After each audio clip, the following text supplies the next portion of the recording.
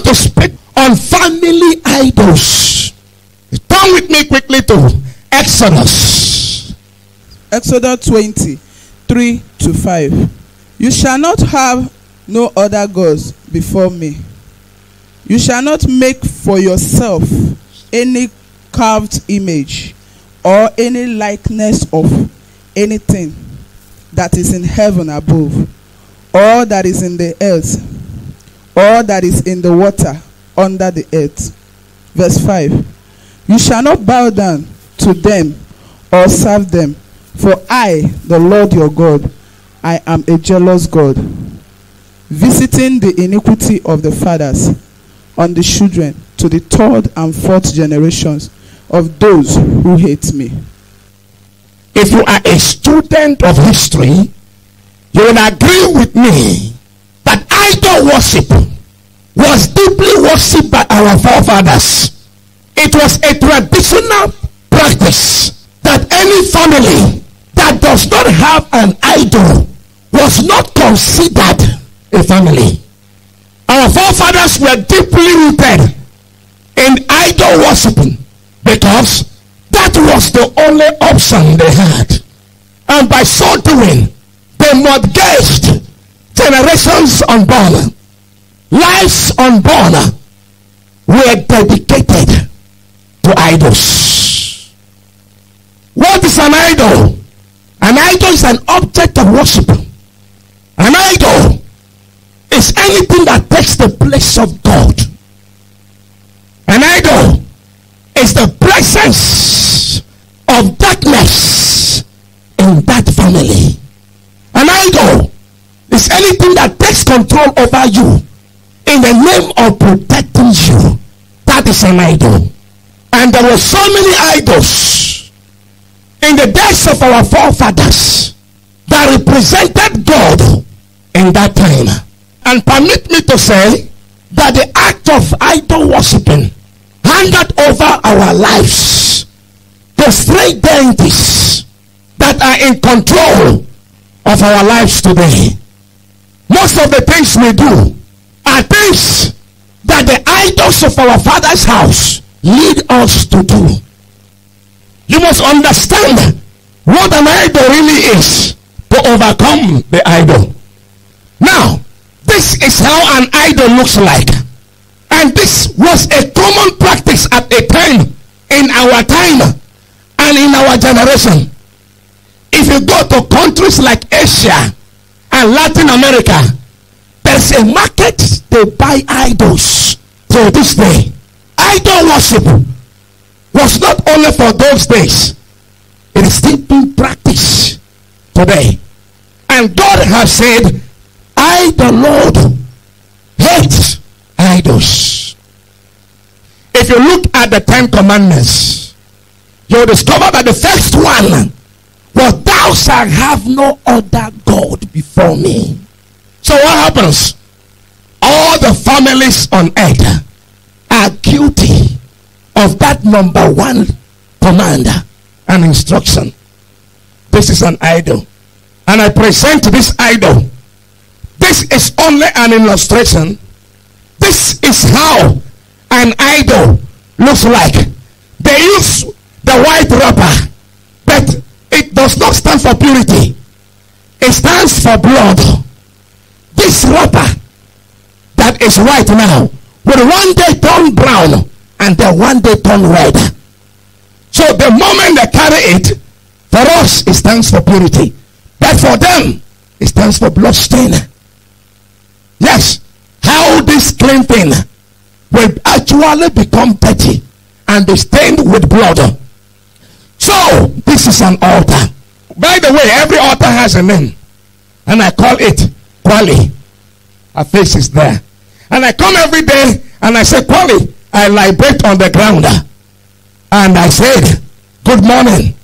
Please let my children, let my wife, let my family be covered under you. This is an altar. This person here is the spirit of the altar. The moment you bring this, you have invited the spirit. So this spirit will come and possess the altar. So it is no longer about the idol. It is now the spirit that has taken over the idol as a house. They like wickedness. So a spirit of wickedness will come and take over this idol. And when that spirit does, it's no longer about the idol. It is now about the spirit. It is the spirit that goes and fulfill the assignment that this idol has to carry out. This idol cannot talk. This idol cannot move. But the spirit that has occupied it can move. The spirit can see. The spirit can go and do anything. So, and this is the spirit. And the moment you are libating, you have considered this one a God and not the Almighty God. So when you make the libation and you do it, there's one thing you must understand. You see, spirit will eventually kill me. Who is serving it? No, that is a hidden truth about idol worship. This same spirit that I am worshiping will eventually lead to my death. That is the spiritual wickedness in high places. So, I worship it for a time. For a time. This spirit one day, I make one mistake. Just one. It doesn't have to be two. Just one. Somebody say just one. And this one who has been wanting to kill me is faithful. Eventually what? Kills me. I brought him on.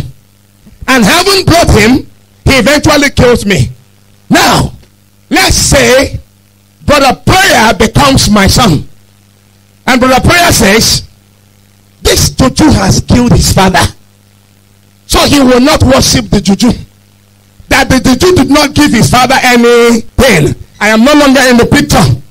And this juju now, that I feed every day, that I kill chicken for every day, that I do everything for every day, that I worship every day, now begins to wait for my next of king to serve him. And my next of king decides not to serve the juju. What do you think the juju will do to my next of king?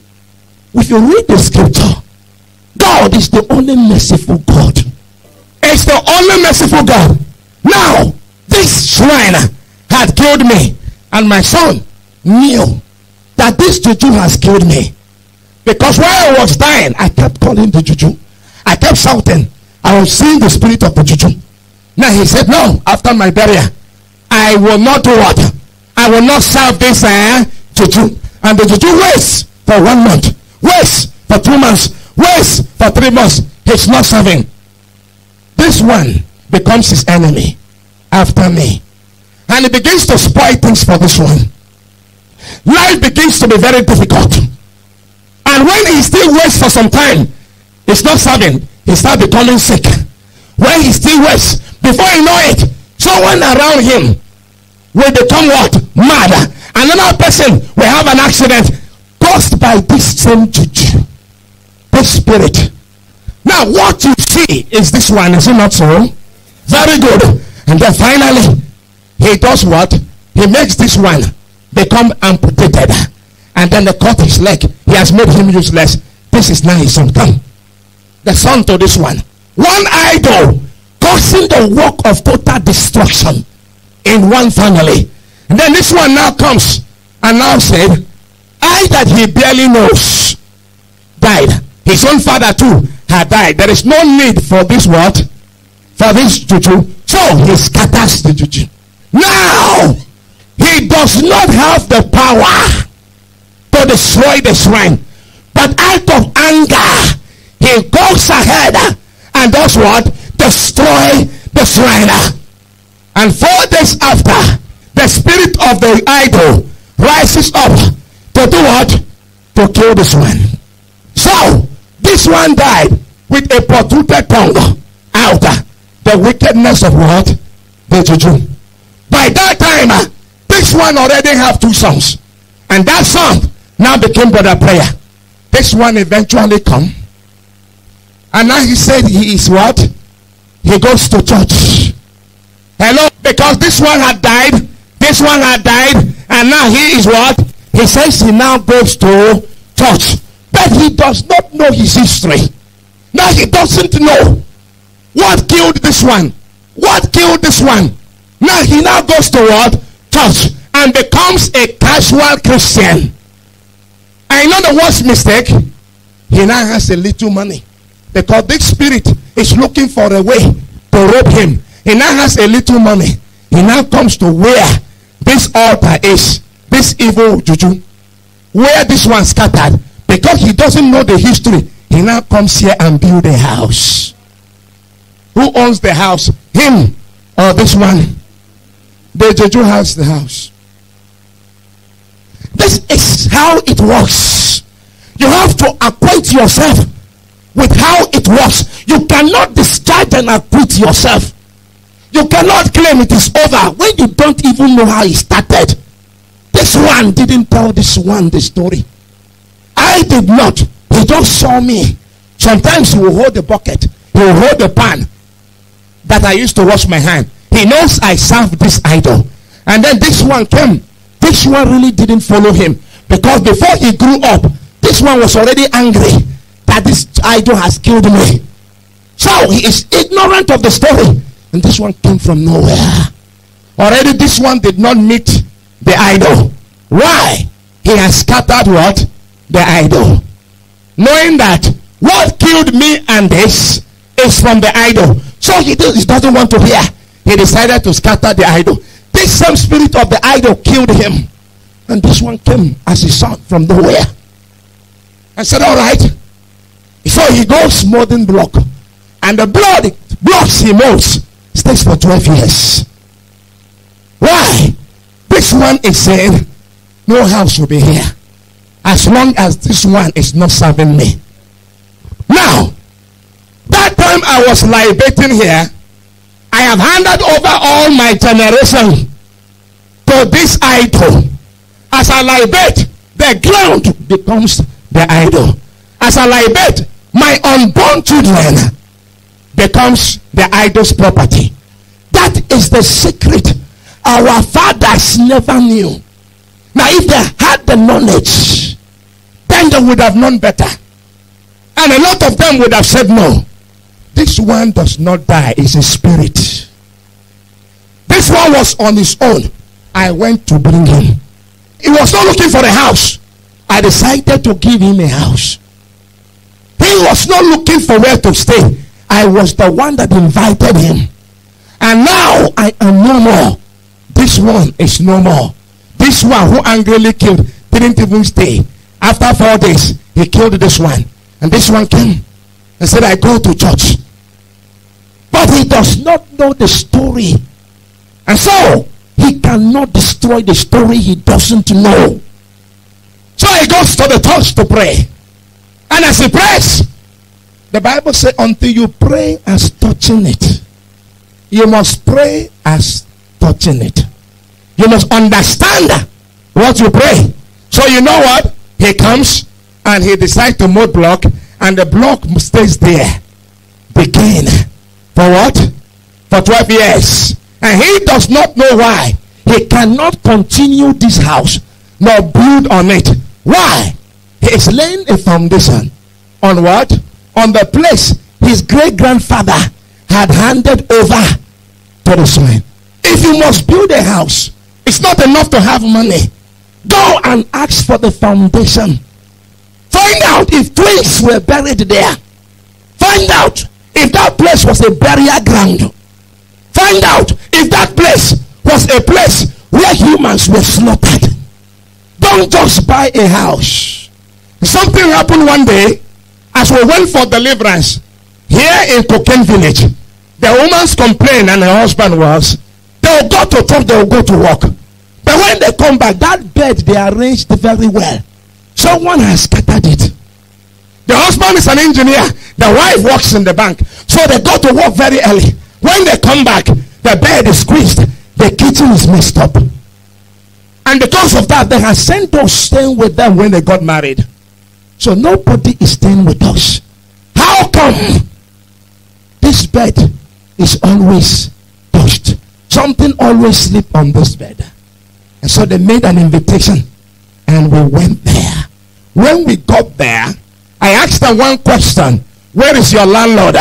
And they said, They pointed at the house. And I said, We'll come back here in two days' time. We will go, but go to your landlord and ask your landlord what was buried in this ground. You cannot walk here on earth with only your physical eyes. I don't need the physical eye to walk here. If you must prevail on earth, you must ask God to open your spiritual eye. Say, God, open my spiritual eyes. You are hearing that this idol has killed me. This idol has killed this one.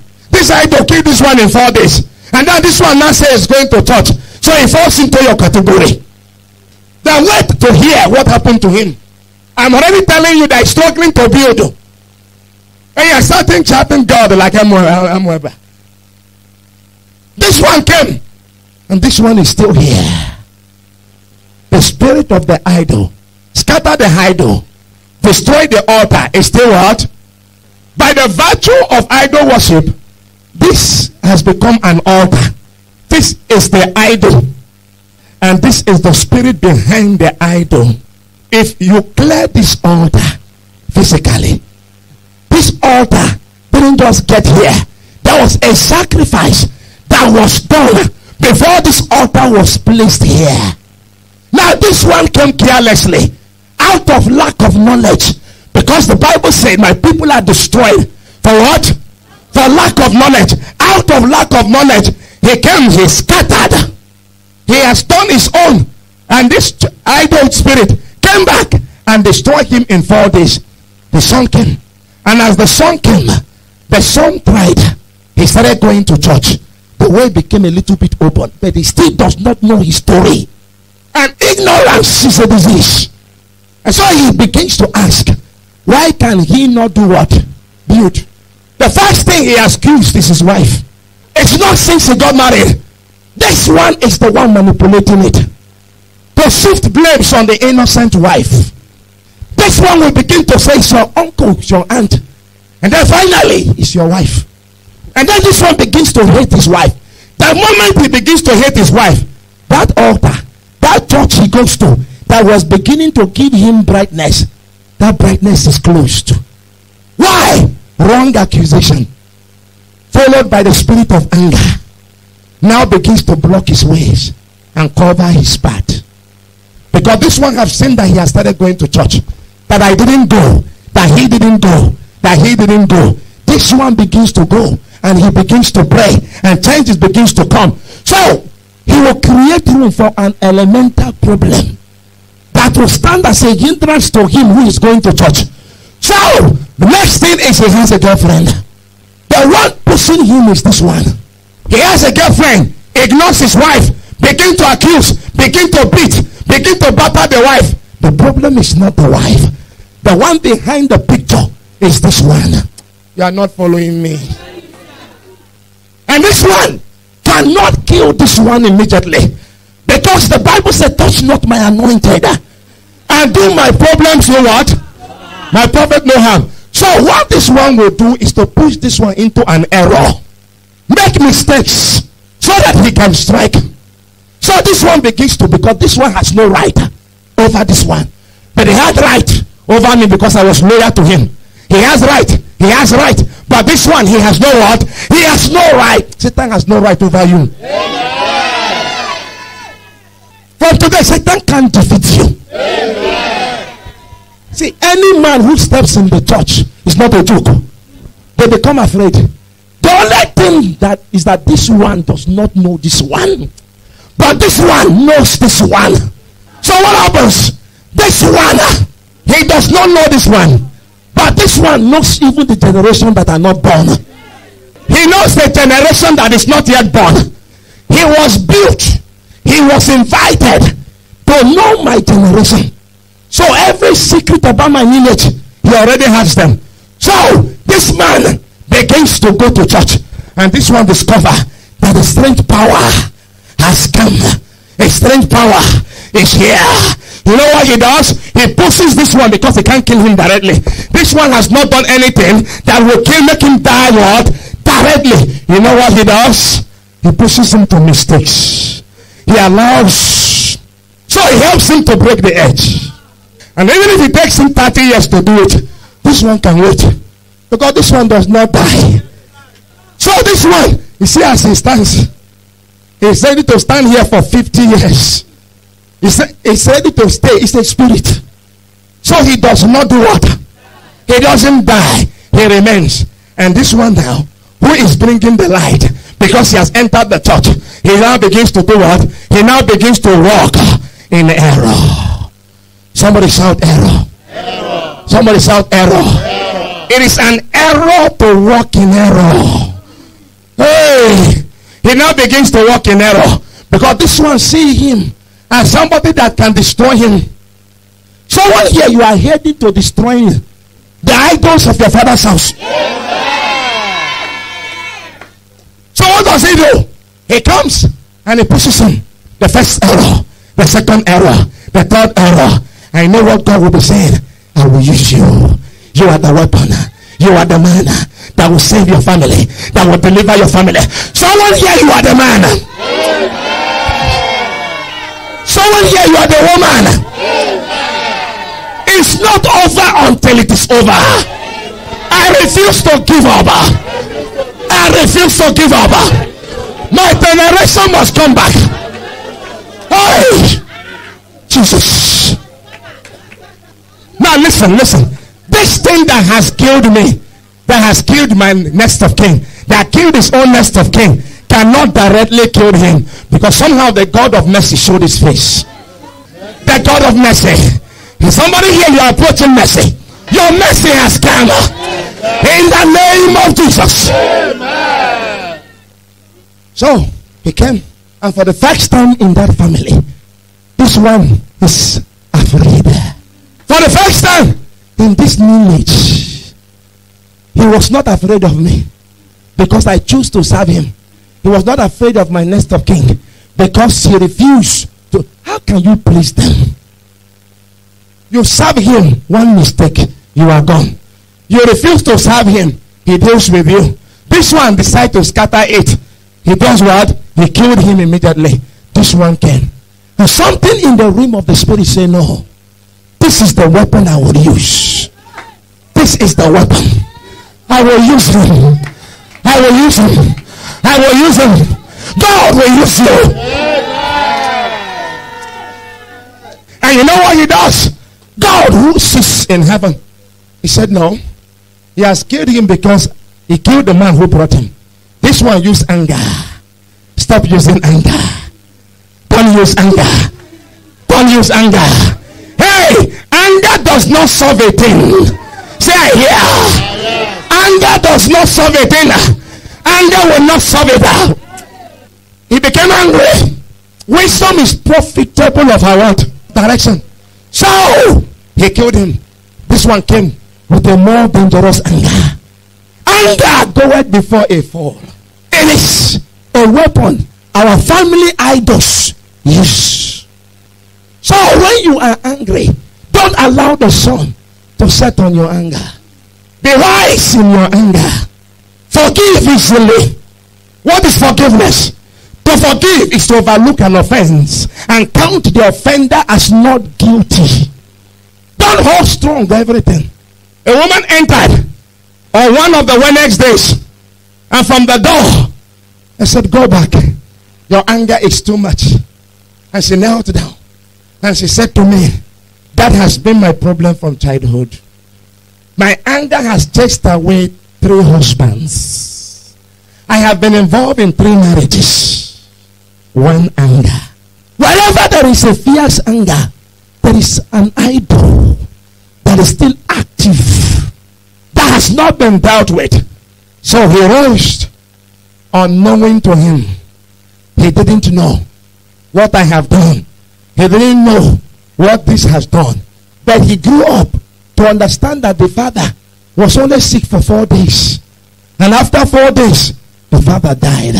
And so him in an attempt not to die like his father, ran to the church And the church became a living church. You must be in a living church. Locate yourself. Be, find yourself in a living church. Don't go there and add to the number. If the place where you worship cannot lead you forward, relocate. Somebody say relocate. It is not a crime, it is not a sin to relocate. Don't remain there and die. I want to say to somebody, deliverance must come. Amen. Deliverance must come. Amen. Now, even if you don't know, walk into it. For wrestle not against flesh and blood, but against principalities and against powers, against spiritual wickedness in high places. These are the principalities. The spirit behind the idols. This spirit can live for another one million years. But causing havoc in only one particular family. So, because of idol worship, all the families of the earth, or most of the families of the earth, ah, has what we call family strong man. These are the family strong men. They don't die. Don't say you have overprayed. Don't say you prayed too much. They don't do what? Die. They remain for as long as that family is not desolate. When the family is desolate and there is nobody, what happens? They relocate. Hallelujah. To God be the glory. So this one decides to come, and this is the one God wants to use, and this one does not know that God wants to use him. And the first thing this one discovered is to raise weapons to make sure this one makes mistakes, and the mistakes begins to slow down his progress. I am making illustrations. Don't forget them. One illustration can lead you for the rest of your life. So let this illustration carry someone. Carry what? Carry someone. So he begins to make a mistake. The first mistake he made is to start having girlfriends. It is not his habit. It is not in their family. It is not part of their lives. But this is the one pushing him. Then from making what? For, for having girlfriends, this one say no, it's not enough to pull him down. He start making him to lie. You are not following me. And so he begins to lie. And this one say no, it will take five error to pull him down. So he goes to the next what? Error. What is the next error? One of those girls become pregnant for him. Is how many errors now? Three errors. That is still going to the church. So that thing begins to shed mercy. It begins to shed mercy. Begins to shed mercy. And God will say, My son, you are the pillar. You are the one I want to use. Stop walking in error. I can't use you with the error. I am a merciful God. I have chosen you. You are the heir of salvation of your family. If you fail, your family will fail. If you fail, this man, this spirit of this idol will take over. Please, my son, ah, my mercy is upon you. But you must walk out your salvation with fear and with trembling. So this one who is supposed to bring deliverance, this one that is the Moses of his family, begins to walk in error. And then he pushes him to the fourth one. The fourth one is he's having a business transaction. And then he has to lie. He has to lie in that business because of one million. He has cheated others. And because of that, the, the mercy steps down. And God is waiting for him to rise up again. God is waiting for him to rise up. God is waiting for someone to rise up. God is waiting for someone to rise up. And you will rise. You know what the Bible said? There is no time, it's already eight. He said, For my mercy would appear for a, for a thousand years. From today, you will not make mistakes. In the name of the Father, and of the Son, and of the Holy Ghost, lift up your hands and say, My Father, my Father, I must complete my journey.